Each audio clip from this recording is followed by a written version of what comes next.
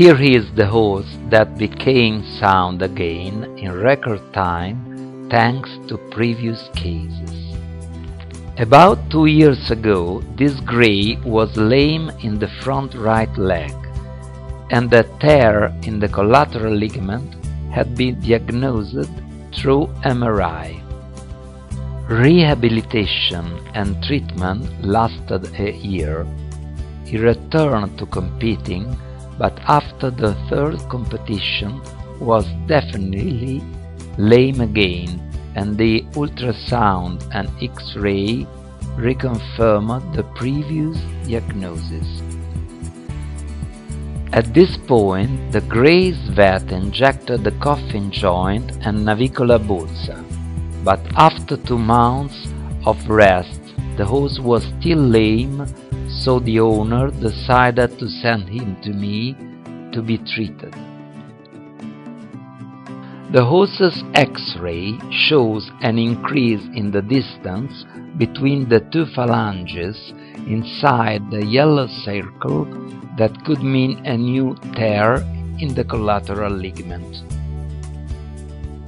In the ultrasound we can see that the medial collateral ligament is very enlarged, with the lesion outlined in yellow, but the most serious lesion should be in the distal area, invisible to the ultrasound, because it is inside of the hoof, therefore I decided to inject the cells in the distal part of the ligament.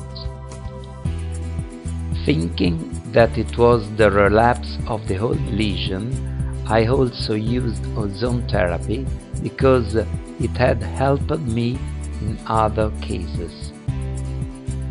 When I saw the horse trotting, I thought that they wanted to prove that my stem cells treatment was useless because the grey was terribly lame and I was not sure my treatment would work. But through my previous experiences on this pathology, I applied my new protocol. Off with the shoes, a blood sample taken and then a week later the first stem cells injection into the joint, collateral ligament, tendon sheath, local perfusion and intravenously. The next day I did ozonotherapy intravenously. Three weeks later I repeated the treatment and we can see the result 10 days after this, about 45 days after the horse's arrival. Incredibly, the horse had improved by 90% and was sent home to rest without shoes for another three months.